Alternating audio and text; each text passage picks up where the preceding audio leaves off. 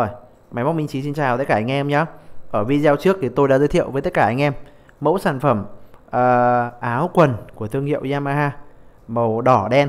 Thì hôm nay tôi sẽ giới thiệu tiếp với tất cả anh em bộ đồng phục sửa chữa thương hiệu Yamaha màu trắng đen.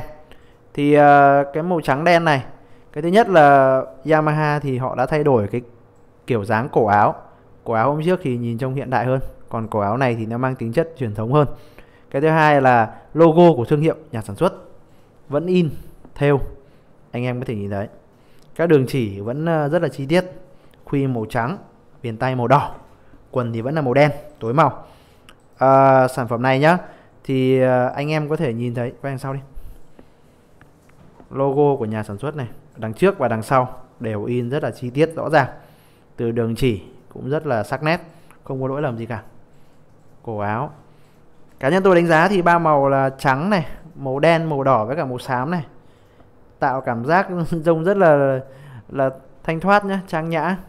Đấy, nói chung là những anh em là kỹ thuật trưởng thì mặc cái cây này nhìn trông rất là lịch sự đàng hoàng. Đấy, tạo cảm giác chuyên nghiệp. Nếu như anh em chúng ta đang làm ở trong các hãng của Yamaha thì cá nhân tôi đánh giá là nên đầu tư 1 đến 2 bộ. Chúng ta có thể mặc luân phiên nhau. Thì khi khách hàng người ta vào cửa hàng đấy sẽ nhìn thấy cảm giác là chuyên nghiệp. Đấy, tạo cảm giác thân thiện hơn với khách hàng. À, bộ sản phẩm này thì bên mình vẫn đang phân phối có 3 size S, M và L.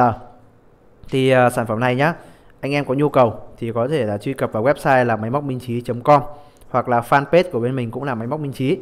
Alo có hotline là 0915 498 666 à, anh em có thể subscribe kênh của youtube bên mình để xem thêm những cái sản phẩm phục vụ cho công việc sửa chữa à, hay các gara rửa xe của bên mình nhá. Rồi cảm ơn anh em đã xem video và hẹn gặp lại anh em ở những cái video giới thiệu sản phẩm tiếp theo nhé